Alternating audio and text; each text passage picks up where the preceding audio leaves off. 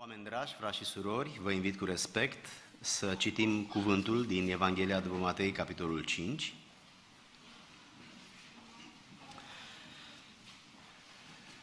Începând cu versetul 17,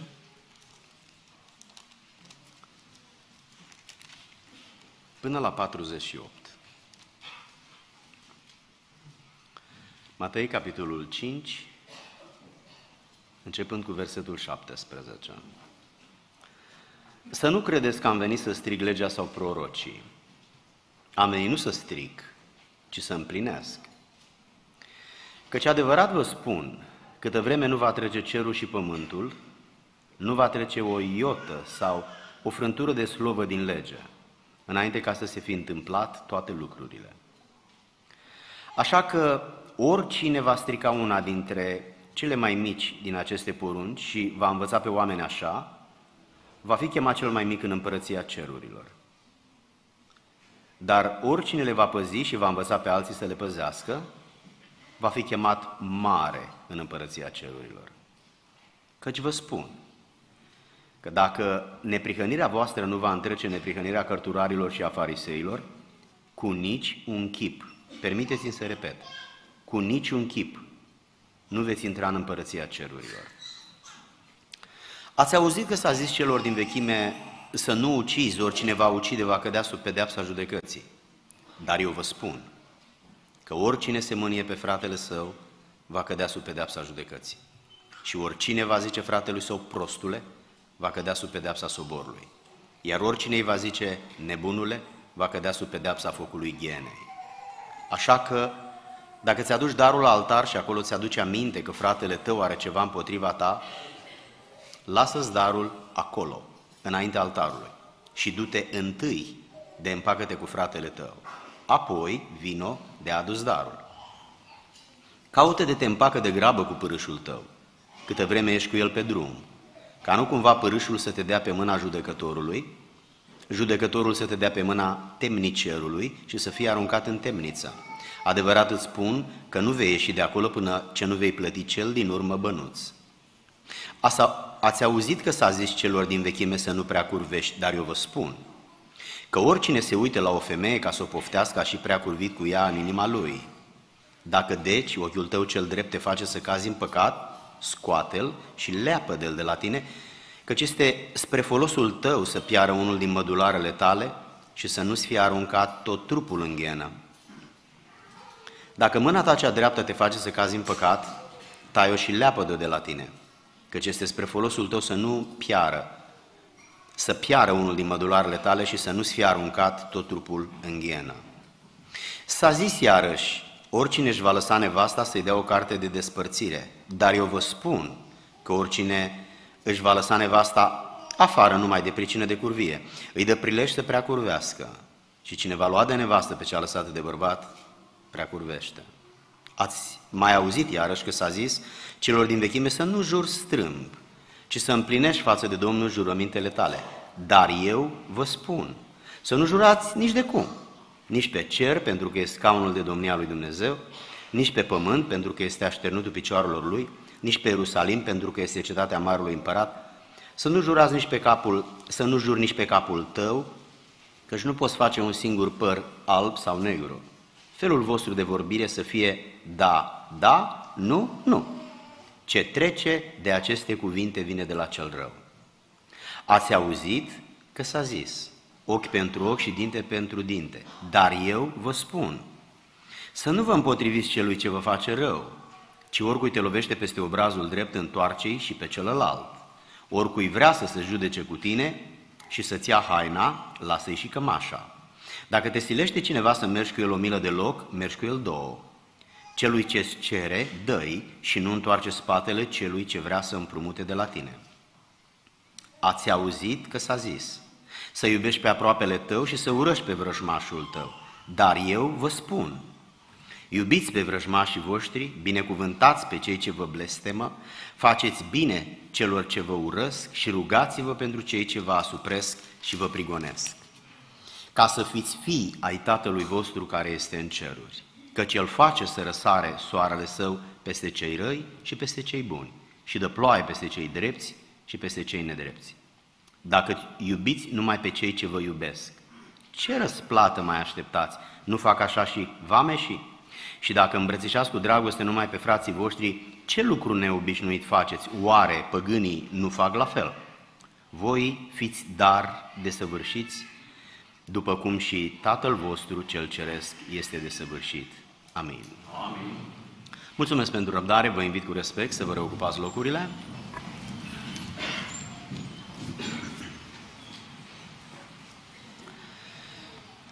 Sunt foarte bucuros pentru oportunitatea aceasta pe care Dumnezeu mi-a oferit-o, să fiu din nou în Biserica Elim, aici unde de foarte multe ori am fost primit cu multă dragoste și prietenie și ospitalitate și toate acestea s-au constituit în amintiri pe care le păstrez în suflet și întotdeauna am respect și admirație față de uh, fratele Mitică Moț, față de păstori, față de conducerea Bisericii Elim și față de dumneavoastră, stimată Biserică a Domnului Isus.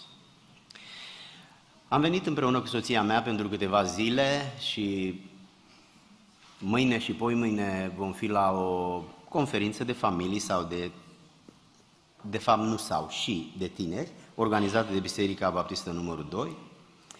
Am vrut să fie ceva mai mult de atât, dar între timp planurile s-au redefinit, nu vreau să intru în detalii, însă în felul acesta am ajuns la Timișoara în weekendul acesta și mă bucur foarte mult. Uh, vă aduc salutări din partea bisericii de unde eu vin, din partea păstorilor noștri, a membrilor bisericii. În seara aceasta vreau să mulțumesc fraților slujitori, colegilor mei care m-au primit cu multă ospitalitate și să-mi exprim uh, recunoștința față de dragostea dânșilor. De asemenea, să-i mulțumesc fratelui Mitică pentru că uh, mi-a permis ca în seara asta să fiu aici și să mă adresez dumneavoastră. Vreau să-i mulțumesc și fratelui Costică Candreanu pentru ospitalitate și prietenie, pentru găzduire și dumneavoastră tuturor care sunteți aici. Am încheiat uh, introducerea aceasta de curtoazie și acum aș vrea să vă spun ce vreau să spun. Am citit pasajul acesta unde Mântuitorul de șase ori spune, dar eu vă spun. Așa că ar fi un posibil titlu pentru predica mea din această seară. De asemenea, un alt posibil titlu ar fi amendamente la Vechiul Testament. Ce înseamnă amendament? Amendament înseamnă cel puțin câteva lucruri, depinde de context. Uh, conotația, adică înțelegerea termenului pe care eu vreau să o folosesc, să o dau în seara asta, uh, este stabilită de contextul în care, haideți să luăm uh, un exemplu religios. Cultul Pentecostal din România are un statut. Un statut care a fost făcut cu foarte mult timp în urmă. Lucrurile au evoluat, bisericile au crescut, problemele și oportunitățile s-au înmulțit. Așa că uneori se mai votează anumite lucruri pentru a se introduce, scoate sau schimba în statut. E, acestea se numesc amendamente. Mântuitorul Iisus Hristos lucrează pe textul Vechiului Testament și face amendamente. Îmbunătățește, schimbă, scoate, introduce. După cum ați observat. Am citit șase exemple care se constituie în, dar eu vă spun, sau în amendamente care schimbă, modifică, înlocuiește pasajul din Vechiul Testament cu un pasaj din Noul Testament. Întrebare, de ce este nevoie să fie înlocuit Vechiul Testament? Nu, Vechiul Testament nu este nevoie să fie înlocuit. Trebuie să aveți imaginea aceasta în minte. Când Adam a venit în existență umană, nu știa nimic. Și Dumnezeu a început să-i spună multe lucruri. Adam a fost scos din grădină datorită trădării, infidelității, păcatului și Dumnezeu s-a separat de el. Ceea ce a făcut el a fost numit păcat originar, sub incidența căruia se naște orice copil care s-a născut vreodată în lumea asta. El a fost un fel de reprezentant care a pierdut meciul, așa că învingerea lui a devenit învingerea tuturor muritorilor care s-au născut după el. Începând de atunci, Dumnezeu a început să spună oamenilor anumite lucruri, să reveleze, să descopere anumite lucruri despre sine, despre voia sa și despre intențiile sale. De pildă, când i-a venit rândul lui Avram să se nască și să trăiască, nu exista revelația, descoperirea, nu ajunsese la punctul la care nu ucide. Așa că a ucide nu era păcat. Permiteți-mi să folosesc un plan diagonal. Aici este originea Adam, Avram, și Dumnezeu a început să descopere. Și revelația a continuat. Am ajuns la limita dintre Vechiul și Noul Testament. Dumnezeu a continuat să descopere. Lucrurile care le-a descoperit aici nu se știau înainte de aici. Revelația asta este ca și clasa 1, 2, 3, liceu, facultate, masterat, doctorat și așa mai departe. Dumnezeu nu contrazice ce a fost în Vechiul Testament, ci clarifică, redefinește într-un moment în care acum înțelege altfel fiind la liceu. În clasa întâia nu puteam să spun decât ceva. Oricum n-ai fi înțeles mai mult. Dar am pus o bază în clasa întâia și în a doua și în școala primară.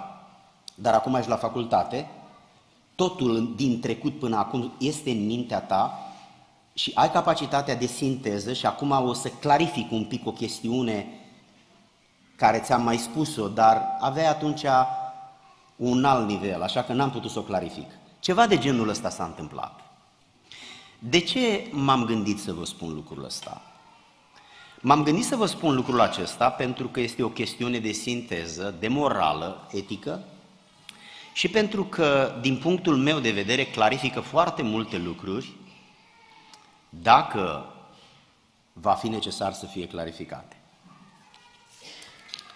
Mi-am notat pe o bucată de hârtie câteva gânduri și o să încep cu ce am citit mai la început. Primul vers, uh, al patrulea verset pe care l-am citit, cu numărul 20, este o introducere, iar versetul 48 cu care am încheiat este o încheiere. Iar între ele două, evident că e conținutul. Versetul 20. 5 cu 20. Îl puteți spune pe scrin? Uitați de câte ori Hristos spune, vă spun. Vă spun că în situația în care neprihănirea voastră nu va întrece neprihănirea cărturarilor și fariseilor, nici voi nu vă calificați, cum nu s-au calificat nici ei. S-au calificat farisei și cărturarii? Nu. Le-a lipsit ceva? Au avut vreo justificare, vreo scuză reală? Nu, n-au avut. Și Hristos spune, ei nu s-au calificat, aveți grijă să vă calificați. Dacă nu vă calificați, atunci veți fi ca ei. Asta spune Hristos aici. Neprihănirea voastră trebuie să fie superioară neprihănirii lor, ca a lor a fost insuficientă. Au fost ipocriți, au fost iubitor de formă, de forme și promovator de forme. Și formele acestea aveau tendința să le înlocuiască adevărata neprihănire. Neprihănirea e în interior, formele sunt în exterior. Haideți să ne uităm la ultimul verset 48.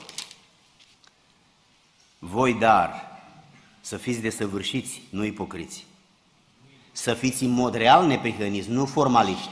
Nu să dați impresia prin anumite manifestări exterioare, lăsându-i pe alții să înțeleagă că și în interior e la fel. Voi să fiți desăvârșiți, nu ca farisei, ci ca Tatăl vostru din ceruri. Iată cine este referința noastră, nu alții.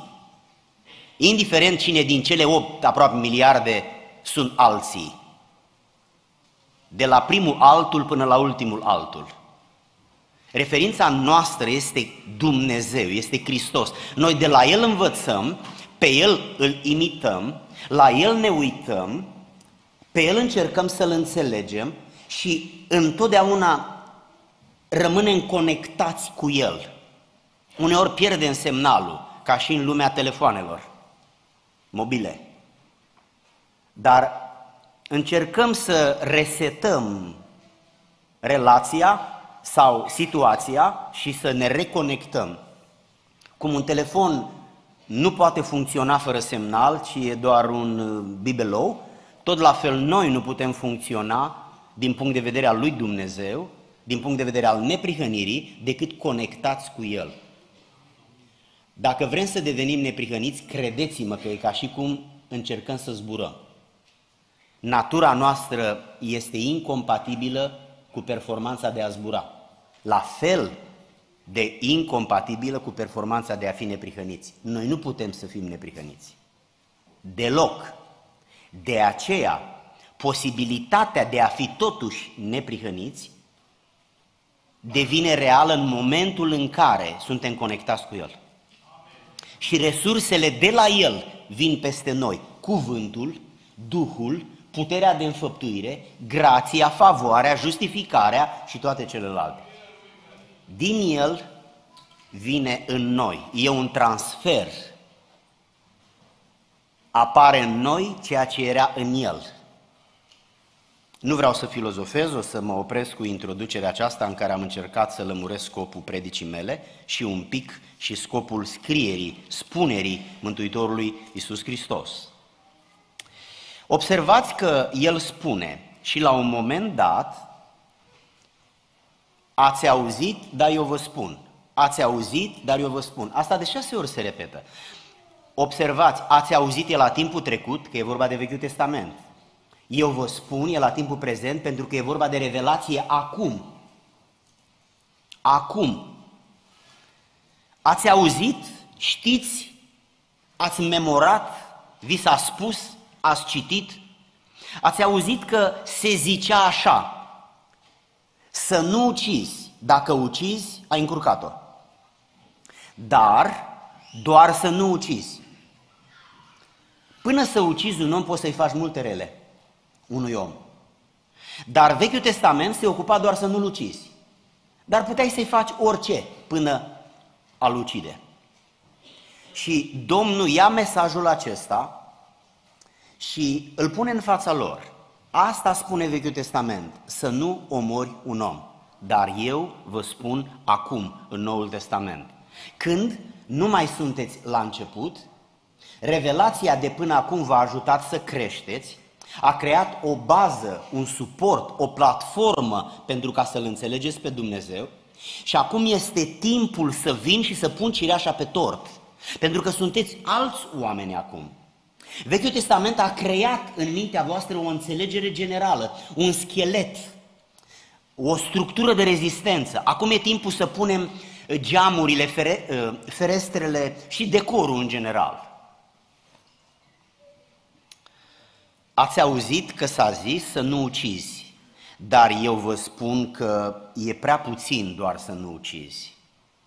Trebuie să intrăm în detalii. Neprihănirea nu are legătură doar cu uciderea.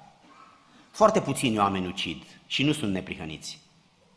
Ă, foarte puțini oameni ucid, iar toți ceilalți care nu ucid nu sunt neprihăniți. Dar uitați ce spune Dumnezeu. Mânie sau iertare? De fapt, Aici este problema, gestionarea mâniei. De ce oamenii ucid? Pentru că devin atât de mânioși încât pierd controlul. Încât pierd controlul.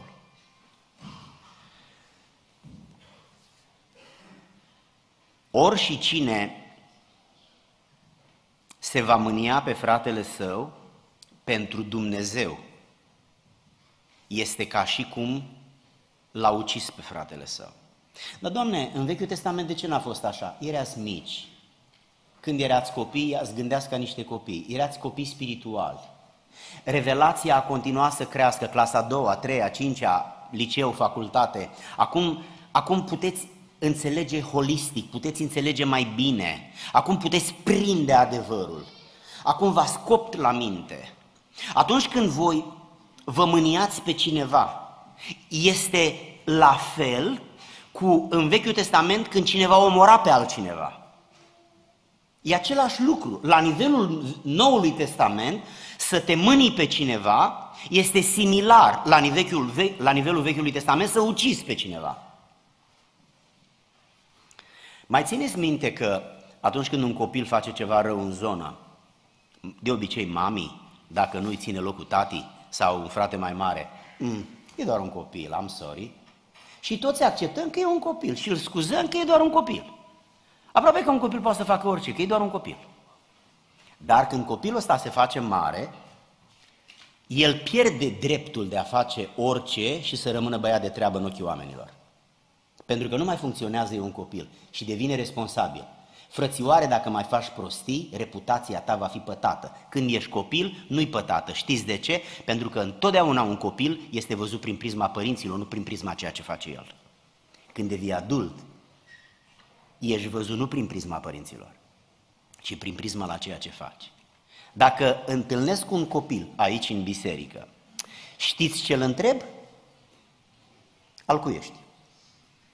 Dacă este copilul la o persoană pe care o respect, îl voi respecta pe copil. Atenție! Dacă e copilul unei, un, unei, unei familii pe care nu o respect, nu-l voi respecta pe copil, fără să-mi dau seama. Eu mă porc cu copilul, deși sunt nedrept să fac așa, în funcție de sentimentele pe care le am față de părinții lui.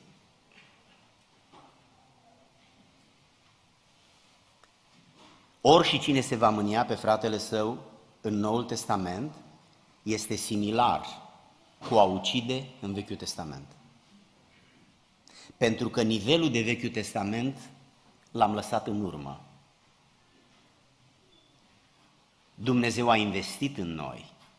Botezul cu Duhul Sfânt nu exista în Vechiul Testament decât în mod individual peste profeții care făceau slujbe lucrarea Duhului Sfânt se manifesta prin ei, dar nu peste tot poporul, ca în Noul Testament.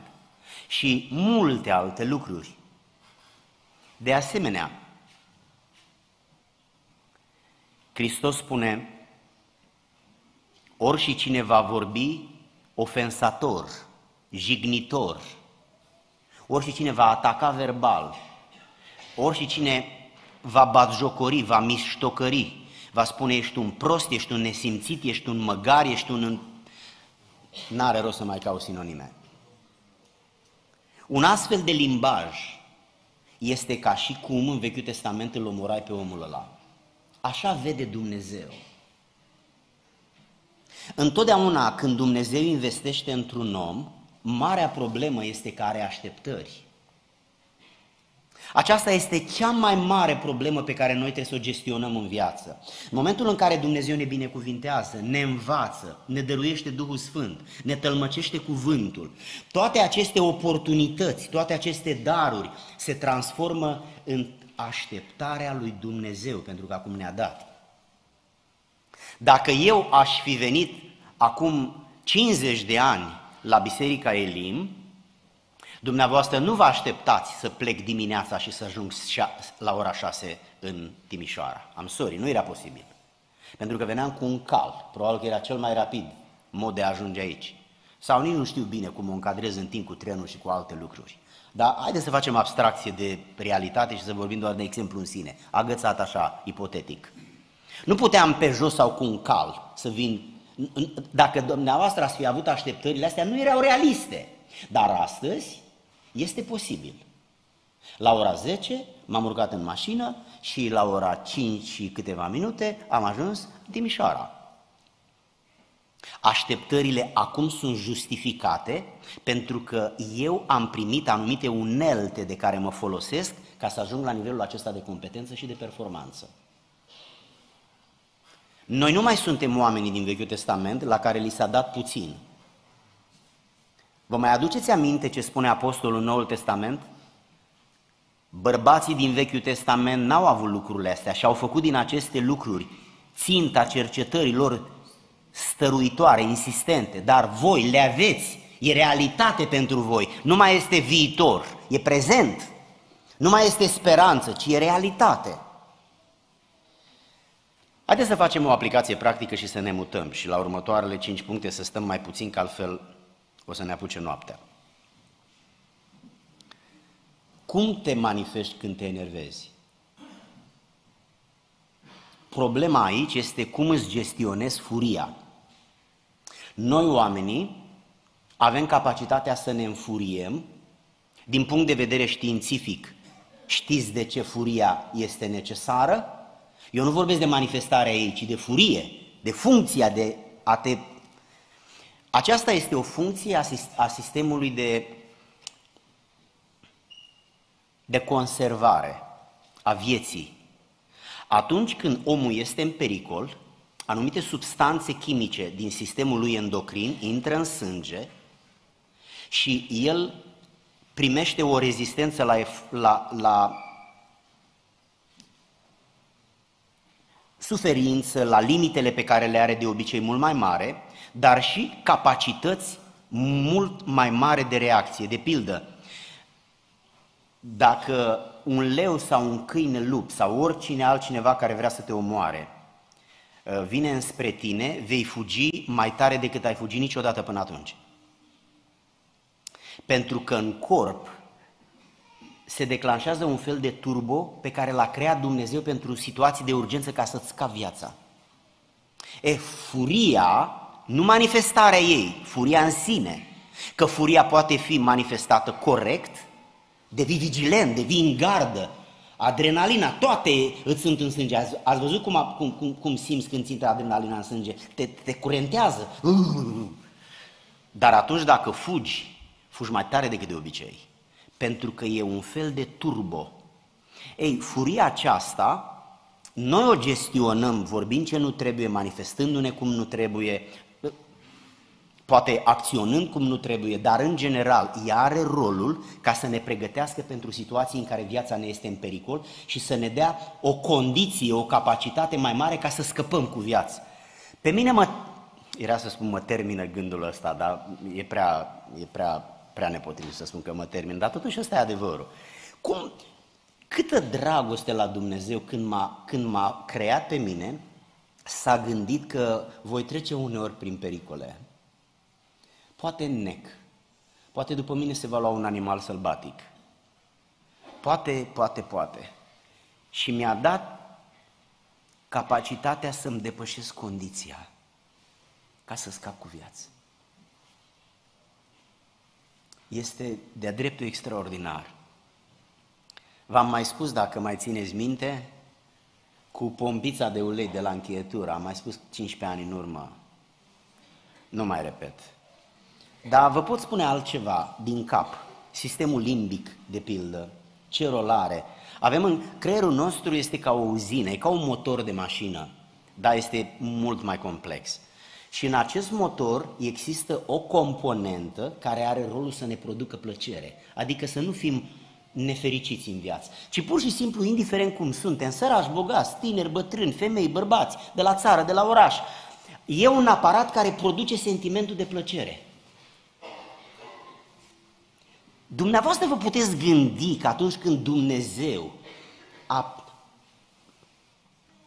a proiectat ființa umană s-a gândit să pună un aparat care să producă semnificație, plăcere, satisfacție. Dom'le, te trezești de dimineață și n-ai niciun motiv. Eu când mă trezesc dimineața fluier. Seara nu prea fluier că sunt obosit și sunt mai morocănos. Dar dimineața fluier.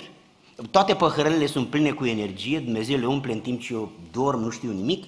Și când mă trezesc așa, foarte, foarte uh, optimist, bucuros, mă cam consum până seara, dar în sfârșit, dacă te întâlnești cu mine dimineața, e mai bine decât seara. Ei, cine face asta? Face asta Dumnezeu. Nu este Dumnezeu bun, cel puțin din aceste două, trei puncte de vedere? Și totuși, cum ne manifestăm noi mânia? Dacă mi-e rușine de ceva din trecutul meu, îmi este rușine și de situațiile în care mi-am manifestat mânia uh, într-un mod lipsit de caracter, de educație, de cunoștință și aproape inconștient.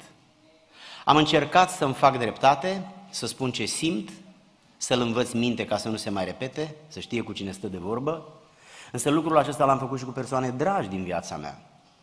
Nu odată am țipat la Carmen, soția mea, nu odată m-am purtat nedrept cu copiii Pentru că fiind mai puternic decât ei și fiind nervos, uneori i-am pedepsit nu pentru că meritau neapărat, ci i-am pedepsit pentru că au fost modul de a, mă, de a refula, de a ventila nervii din, din, din sistemul meu emoțional. Frații mei, uitați ce spune Hristos. Dacă neprihănirea voastră nu întrece neprihănirea fariseilor, unde au ajuns ei, acolo veți ajunge și voi. Iertați-mă pentru duritatea cuvintelor. Însă no, în mintea noastră inconștient se cuibărește gândul că dacă ne-am botezat și venim la biserică mergem în cer.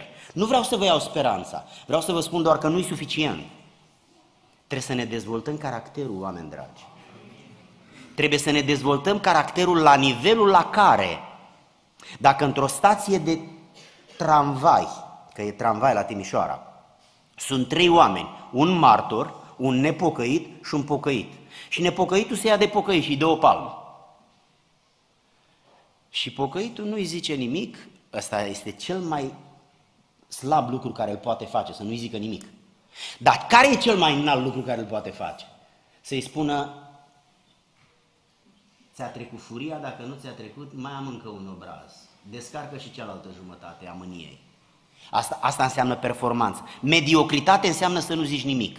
Pur și simplu să stai liniștit și martorul ăla să zică, bă, dar ăsta, bă, ce fel de om e ăsta, fricosul ăsta, nu zice nimic, sigur că el, el ar, ar spune altceva. Întreb, aș putea eu să stau liniștit, măcar liniștit când cineva îmi dă o palmă? Doamne ferește-mă, te rog frumos de situația în care cineva îmi dă o palmă. Ca nu cumva să se vadă de ce sunt eu în stare când cineva îmi dă o palmă. Rezistau farisei și cărturarii să fie pălmuiți? Nu. De aceea au mers unde au mers. Și acum vă pun o întrebare foarte complicată, constrângătoare. Rezistăm noi să fim pălmuiți sau nu? Știu că în biserică rezistăm, dar în stația de tramvai nu știu. Dumneavoastră știți de câte ori ne-am mâniat în casă, mai ales cu tovarășul de viață, apoi copiii, Știți cu cine suntem cei mai aspri în vorbire și în comportament? Cu cine este cel mai apropiat emoțional de noi. Dacă vă întâlnesc, vă asigur că vă spun dumneavoastră și mă port extrem de frumos, pentru că vă văd odată în viață sau odată pe an. Dar mi-ar place să reușesc să mă port așa cu soția mea. Însă toată ziua acolo cu ea în casă, știți ce se întâmplă? primul lucru care se întâmplă, dispare politețea. Când politețea dispare, înseamnă că a început. Cine? Problema. A început problema. Apoi dispare prietenia. Suntem soți și soție, dar nu mai suntem prieteni. Cum este o căsătorie unde cei doi nu mai sunt prieteni? Sunt soț și soție, dar nu sunt prieteni. Detașare emoțională, fiecare e cam lămurit de celălalt și a pierdut admirația. În ce măsură este supusă, adică respectoasă, o soră în Hristos, când și-a pierdut admirația pentru soțul ei? Poți să-l respecti pe cel pe care nu-l admiri? Poți să-l respecti pe cineva despre care ai o părere foarte proastă? Dacă un taximetrist ți-ar spune, sau unul cu Uber-ul, în timp ce te urci la el în taxi sau în mașină să te ducă la gară sau la nu mai știu unde, ți-ar spune, am uitat să vă spun că 10 oameni dintre cei care au mers cu mine cu mașina au fost grav accidentați, câțiva au și murit în accidente de circulație. Mai vreți să vă urcați? Eu sunt sigur că niciunul dintre noi nu ne-am mai urcat. De ce? Pentru că omul ăsta are un cazier îngrozitor. Nu vreau să bat apa în pio și nici să, ba, să banalizez subiectul explicându-l, storcându-l ca pe o lămâie, am vrut să spun altceva. Oameni dragi, este foarte greu în viața reală să împlinim ce a spus Hristos aici. Este foarte greu. Și dacă nu ne propunem să ne disciplinăm, și nu știm din punct de vedere psihologic cum funcționează mânia, noi vom crede că putem să gestionăm mânia. Mânia nu poate fi gestionată. Pentru că atunci când omul se mânie, noi avem două, două locuri importante în capul nostru. Unul e conștient și unul nu e conștient. E, ăla care e conștient când te-ai mâniat, nu mai funcționează. Deci este pus în hold, e, e pus deoparte. Și apare din nou instinctul ăla animalic de a scăpa, iar mânia e o formă de a intimida și de a scăpa. Să nu așteptați ca să vă puteți controla mânia vreodată. Dacă vreți să vă controlați mânia, controlați-vă ultimile 30 de secunde înainte să vă mâniați. Atunci încă sunteți pe manual. După aceea vine pilotul automat și te trezești după ce ți-ai vărsat tot focul, după ce ai spus o grămadă de cuvinte și dacă soția le-a auzit restul vieții prin istoricitatea ei, ți le va repeta până când vine sfârșitul. Haideți să mergem la al doilea amendament. Versetul 27 și 28. Ați auzit că s-a zis în vechime să nu prea curvești. Asta s-a spus în vechime. Ai o soție, a fost permis și să ai mai multe, adică poligamie, asta n-a fost voia lui Dumnezeu, ci pur și simplu a fost permis doar. Dar uitați ce spune Hristos, eu vă spun că exact aceeași formă, intensitate de vinovăție în Noul Testament apare pentru persoanele care își permit în mintea lor să se gândească la lucrurile astea și să poftească o persoană de gen opus pe care o văd. Cât de greu este să se întâmple lucrul ăsta în mintea unui bărbat? Sau, așa cum spune Hristos, în inima lui. Eu aș pune întrebarea altfel. Cât de greu este să nu se întâmple? Nu intrăm în detalii, nu e locul, nu e timpul, vreau doar să vă spun următorul lucru. S-a făcut un amendament, frați și surori, iar amendamentul, să știți că este foarte aspru. Noi toți care suntem bărbați aici, cei care trec de 13-14 ani până la cel mai în vârstă dintre noi, știm că bărbații ajung la nivelul ăsta prin vedere, femeile nu. De aceea Hristos se spune, dacă cineva se uită, vede. Pentru bărbați văzul e cea mai largă poartă dintre cele cinci care le are în capul lui. Văz, auzi, miros pipăi și gust. Văzul e cea mai largă. Pentru el e simțul prin care primește cele mai multe informații, inclusiv genul ăsta de informații care țin de, de zona asta de activități. Gândiți-vă dacă Hristos a spus așa, înseamnă că așa va fi. Iar la sfârșit, când vom sta în fața lui Dumnezeu, pe lângă gestionarea mâniei, gestionarea sexualității noastre, va fi al doilea domeniu din viață, care demonstrează dacă semănăm cu el sau nu. Haideți să mergem la al treilea exemplu. Versetul 32. Vă spun că ori și cine își lasă nevasta afară numai din pricină de curvie, îi dă un prilej să prea curvească și cine va lua de nevastă pe cea lăsată de bărbat, prea curvește. Imaginați-vă că nu o să intru în detalii, asta este o problemă destul de complexă. Aici sunt mai multe poziții teologice, de la cea mai conservatoare până la cea mai liberală. Cea mai conservatoare nu permite decât, decât divorțul în condiția de adulter dovedit, dar absolut dovedit. Celelalte permit adulterul pentru o grămadă de motive.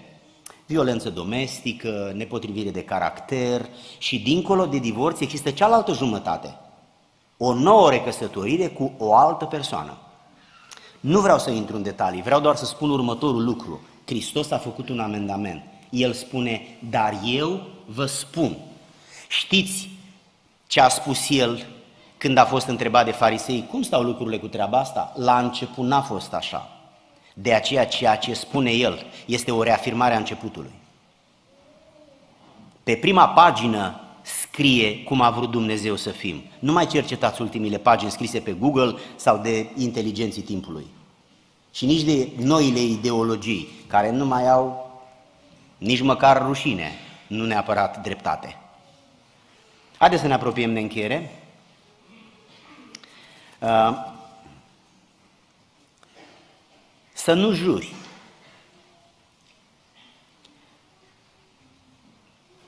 Persoanele care nu mai au credibilitate se simt împinse să spună ceva care completează lipsa de credibilitate. Deci când cineva nu mai are onoare și nu mai prezintă garanție pentru persoana cu care stă de vorbă și simte că nu-i crezut, atunci simte nevoia să mai spună ceva. Asta știți câte formule sunt posibile, ele toate sunt genante și eu nu o să spun niciuna de aici, că mi-e rușine. Dar te jur pe mamă, pe copil, pe viitor, pe tot felul de din astea care să, să acopere lipsa de integritate și de onoare pe care ai pierdut-o. Ei, Hristos spune următorul lucru, trăiește la nivelul la care când ai spus da, să fie suficient. Dacă mai e nevoie de altceva, să știi că ești într-o situație compromisă. De ce mai e nevoie de altceva? Pentru că ți-ai pierdut respectul oamenilor. Biblia folosește expresia de mărturie, ți-ai pierdut mărturia. Când tu spui un lucru, oamenii nu te cred, de aceea tu trebuie să vii acum cu uite mă jur pe aia și pe aia și pe ăla și pe părinții mei și pe copiii mei și acum mă crezi, nu? Acum da, că ai îndrăznit să afirm despre viața copiilor tăi și a părinților tăi, pe lângă ce a mai rămas din mărturia ta, mh, hmm, parcă totuși sună puțin mai de încredere. Noi nu mai suntem de încredere și e nevoie să proptim lipsa de încredere cu juruințe și cu blesteme. Oameni dragi, lucrul ăsta e ridicol. Pentru un creștin care este respectat de oamenii care îl cunosc. Asta nu înseamnă că e un om perfect, ci este creștin. Este suficient să spună da sau nu, pentru că se va ține de cuvânt și nu e nevoie ca să spună și altceva pentru a deveni mai credibil. Haideți să ne uităm la versetul 39. De fapt 38. Ați auzit că s-a zis ochi pentru ochi și dinte pentru dinte. Adică ți-a scos un dinte? scoate-i un dinte. Ai grijă să nu scoți doi. Ți-a scos un ochi, scoate-i un ochi. De asemenea, ai grijă să nu-i scoți pe amândoi, că el nu ți-a scos pe amândoi. Adică 1-1, nu 2-1 și nici 1-0. Trebuie neapărat să fie 1-1. Țin-o la 1-1, 2-2, 3-3, 4-4 și până unde reușești. Uitați ce spune Hristos. Dar eu vă spun, lăsați să fie 1-0 pentru el. Vrea să-ți ia haina? Dă-i-o. Dar mai fă un lucru ca să vadă că n-a câștigat. Ia cămașa și spune, tu nu ai vrut cămașa, dar să vezi că eu nu ți-am dat haina de frică, ți-am dat-o din alte motive. Uite, îți dau și cămașa. Poftim.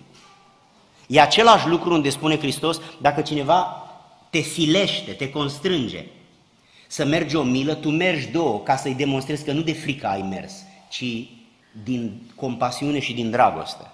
Observați, Hristos promovează și demnitatea, nu prostia, nu să stea tot să ne dea palme. Nu asta vrea Hristos să spună. Și ultimul exemplu, ați auzit că s-a zis, iubește pe cine e de iubit și repede pe cine e de repezit. Ți dușman, urăște-l. Ți prieten, iubește-l. Și Hristos face un amendament, pentru că am ajuns în Noul Testament. Și spune, dar eu vă spun. Și acum cade ca un trăsnet. Iubește-ți dușmanii. Din nou o să spun un lucru foarte complicat. Sunt mulți bărbați care nu reușesc să-și iubească soțiile. Cum să-ți iubești dușmanii, domnule, dacă nu poți să-ți iubești soția cu care ai făcut un copil, doi sau trei, până acum? Sau invers, e o, soț- e o soție care nu poate să-și mai respecte bărbatul.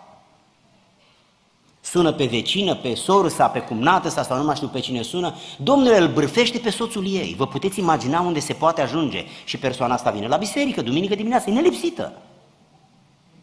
E mai ușor să fii prezent la biserică decât să-ți dezvolți caracterul. Frați și surori, nu luați predica mea ca pe o etalare a unui specialist sau pe unul care a venit să facă pe deșteptul. Eu, omenește vorbind, eu mi-asum un risc să spun cuvintele astea, dar eu le spun pentru că este nevoie să le auzim în ciuda faptului că este inconfortabil să le auzim. Mulți dintre noi au probleme cu mânia. Mulți dintre noi au probleme cu sexualitatea. Nu neapărat că ajung la păcatul adulterului, dar multe alte manifestări de început și cine începe să știți că și termină. Mulți spun o grămadă de cuvinte pentru ca să înlocuiască lipsa de demnitate și, în general, toate celelalte șase exemple pe care le-am spus în această seară, le-am spus ca să vedeți cum vede Isus Hristos creștinul din Noul Testament. Dar eu vă spun, acestea sunt niște amendamente făcute, votate de cer. Acum, Constituția sau statutul, cum se spune în România, statutul de funcționare al unei, al unei denominații, a fost îmbunătățit prin vot. Iar Dumnezeu a hotărât în suveranitatea sa de a face niște mici modificări. E ușor să nu ucizi. Să știți că n-am nicio dificultate să nu omor pe nimeni. N-am nicio dificultate. Cred cu ajutorul lui Dumnezeu că mă voi duce în cer și nu voi omorâ niciodată pe nimeni, nici cu mașina, nici din accident, nici din întâmplare, pur și simplu Dumnezeu mă va feri de chestiunea asta care mă gândesc că e teribil de apăsătoare.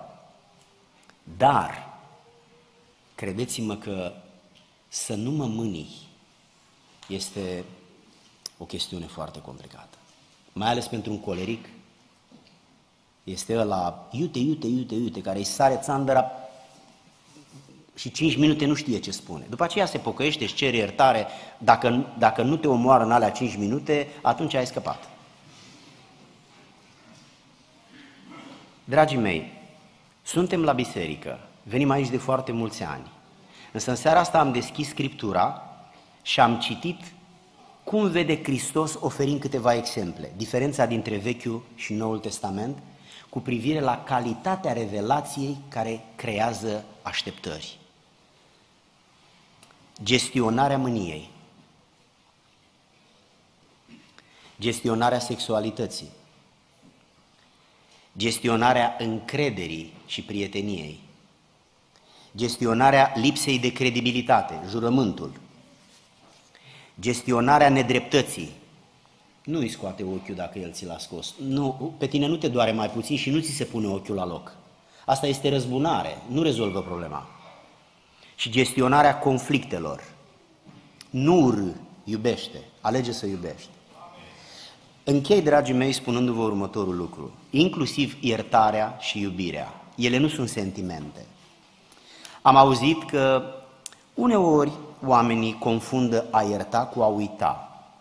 Am mai spus o dată aici în biserică și mai spun încă o dată pe lângă faptul că mii de oameni probabil că au mai spus de la amvonul acesta lucrul ăsta. Frați dragi, a ierta nu înseamnă oameni buni a uita. Dar cum, cum putem să credem treaba asta? Păi dumneavoastră știți cum se numesc oamenii care uită? Nu se numesc iertători fraților.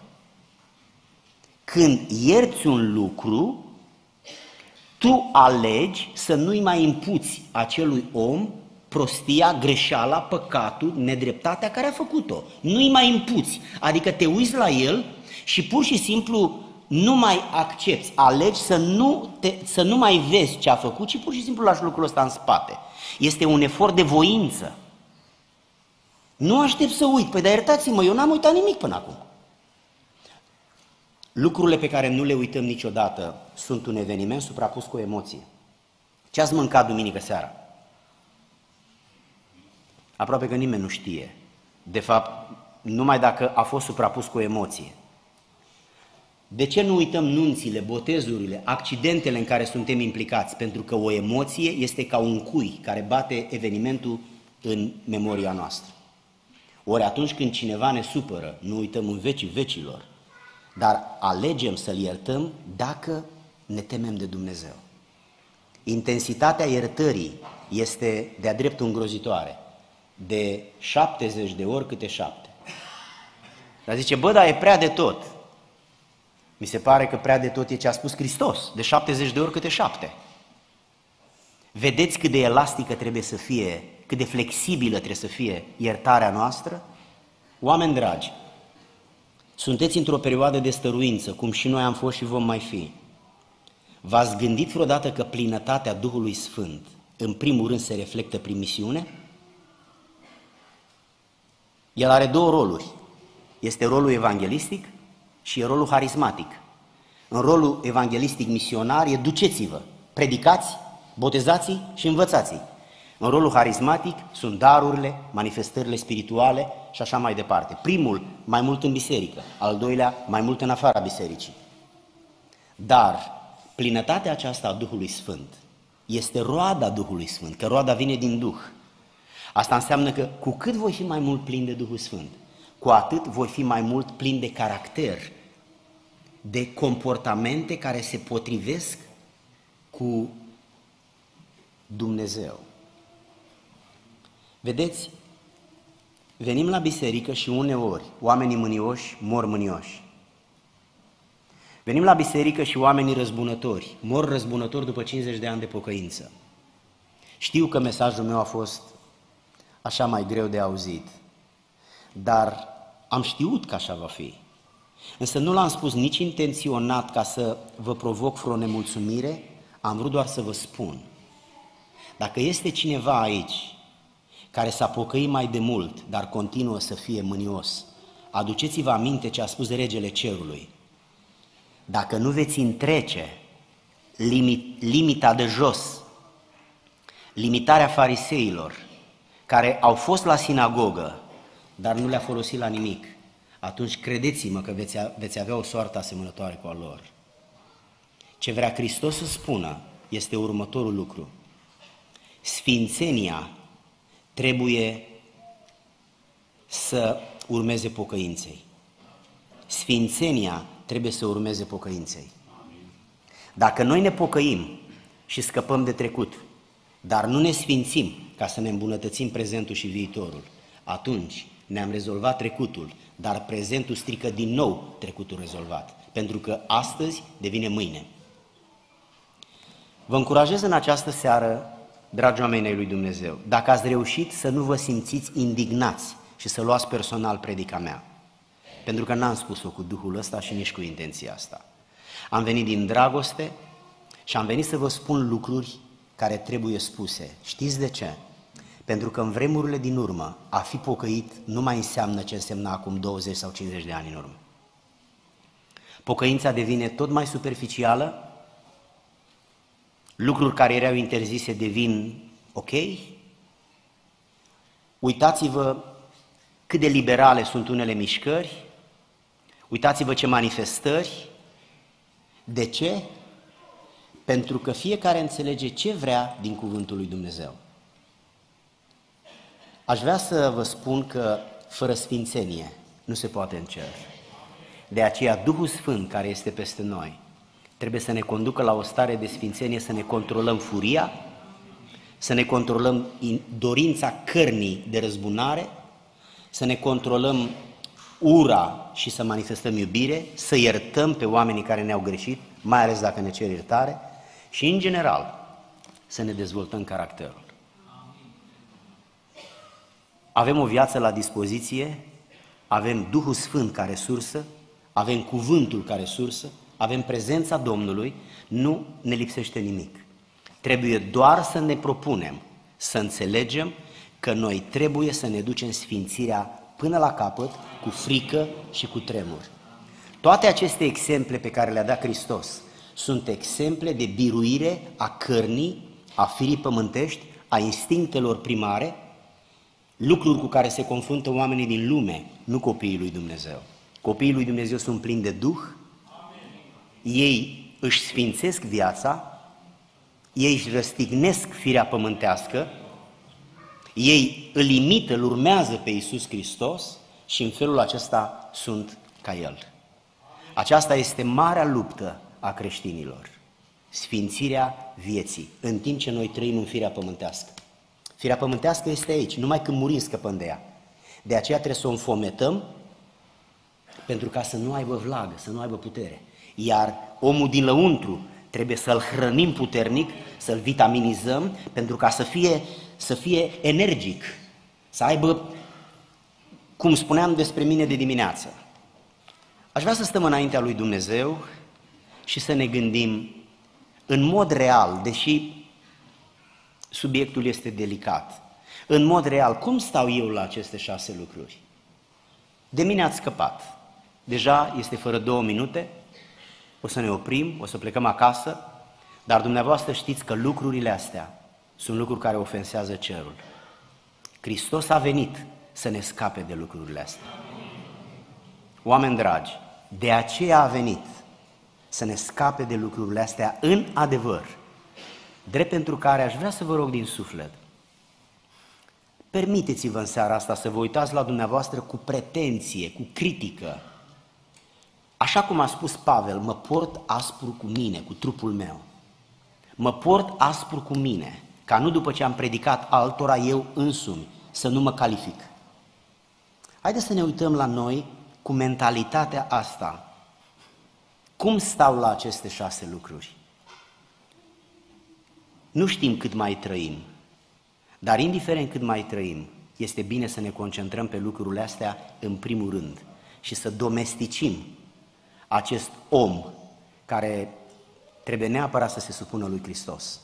Trebuie neapărat să se lase condus și călăuzit de Duhul Sfânt. Și trebuie neapărat să manifeste calitatea de neprihănire a cerului. Nu ca fariseii și cărturarii care au spus una și au făcut alta.